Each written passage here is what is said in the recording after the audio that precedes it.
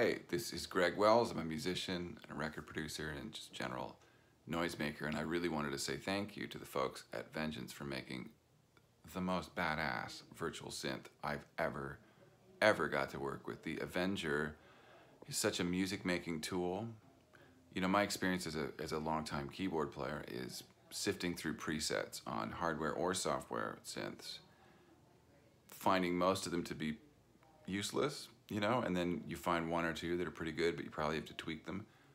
The reason I'm making this video is my experience with the Avenger was the polar opposite of that, where every preset, I can't think of one where I heard it and thought, oh, no, no, they got that one wrong. Every preset was something that I could use in a track, on a record. Uh, and, you know, that's a huge help to me to have a tool like that in my toolbox. Um, whatever you guys are doing at Vengeance, I'll have what you're having. And thanks for making such a great uh, instrument. And I look forward to hearing more in the future. Thanks again. Let's make some music.